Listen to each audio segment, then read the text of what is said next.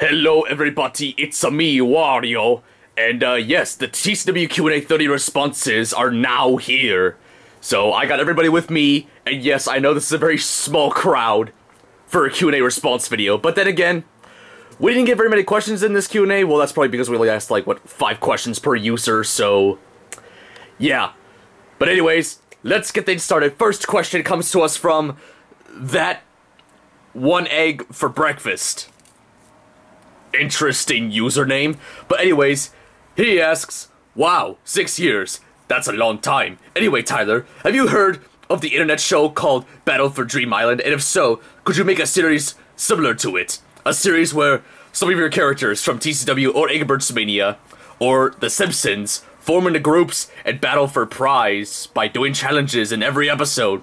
And then the losing team of the challenge are put up for elimination and the viewers get to vote um who is off the show. And the last person standing wins the show and prize. Similar to Total Drama Island or Survivor, but the viewers get to vote instead of the contestants. I honestly think it would be very interesting to see this happen, and I would be absolutely thrilled if you consider doing it. Thanks for reading this, and I apologize for being so lengthy, lol. Oh man, that definitely is a really long response video, but uh, not a response video, but a response, uh, not, what am I even talking about? I'm, I apologize, but uh, really long question. But anyways, uh, fun fact, um, before I did YouTube, I actually did do a similar series to Total Drama Island, but except with um, Webkinz, because I used to be into those at one point. But yeah, now nowadays, uh, I don't really consider doing it. Uh, I kind of have, because, you know, Luigi Fan 0001 like does a series very similar to that.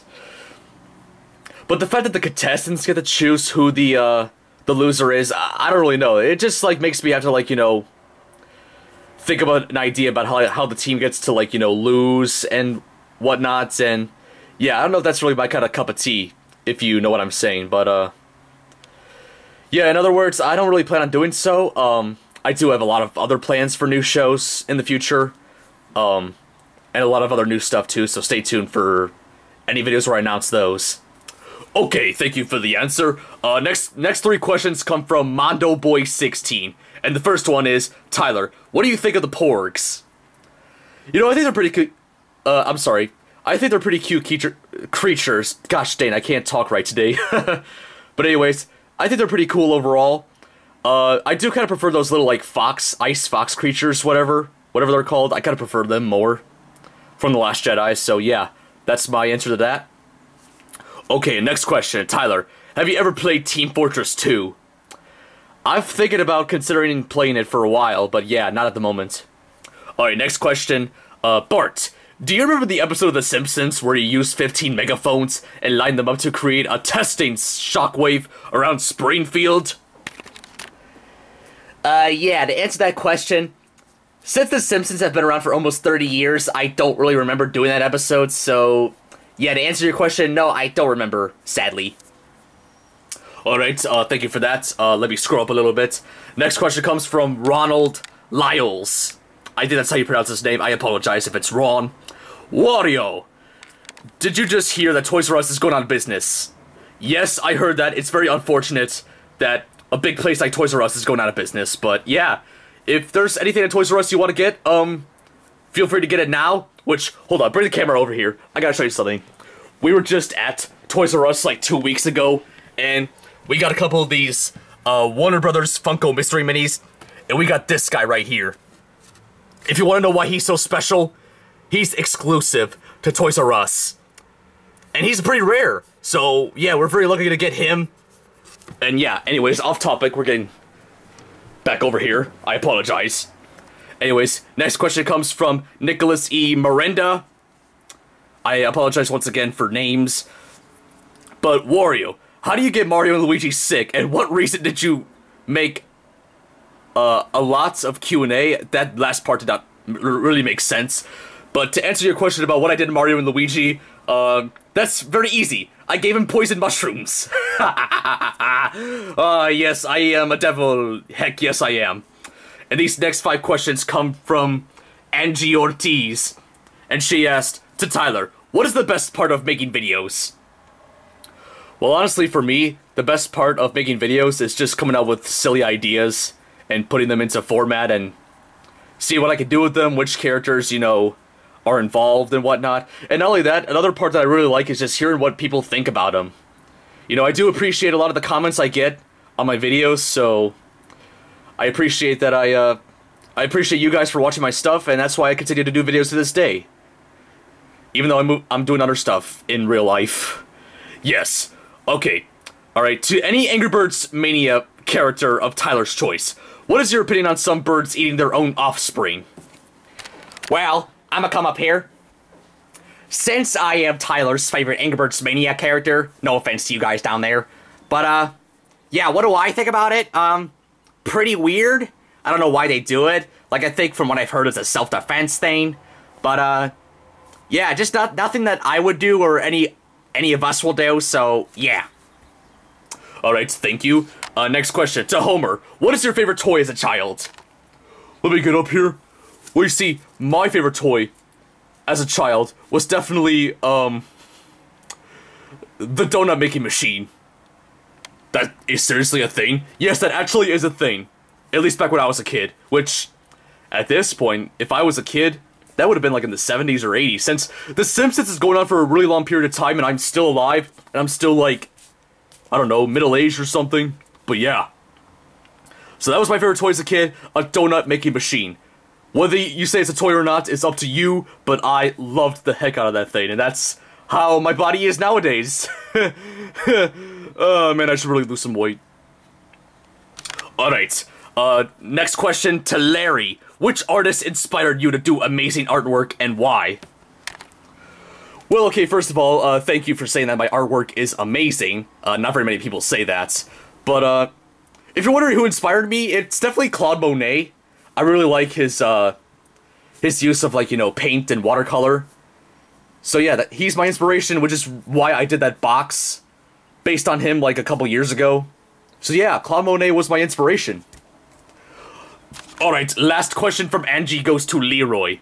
What was the funniest moment you had with Larry?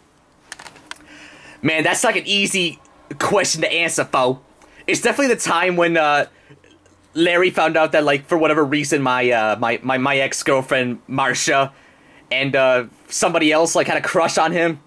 It was hilarious seeing his reaction to that. It, oh my god, it was funny. No, it isn't, Leroy. Shut up, fo. It is. All right, and now the last five questions for this Q and A go to.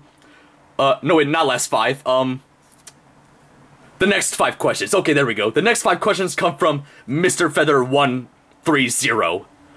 Um, and his first question is to Tyler: Which upcoming film in 2018 are you looking forward to? Well, if I had to pick like the movies I'm looking forward to the most, um, it would definitely be The Incredibles 2. Um, yeah. trying to think of any others. I think that's probably the only movie I'm looking forward to this year is uh, The Incredibles 2. Okay, Next question. Big Brother Tonto. Is steamed hams a good meme or not?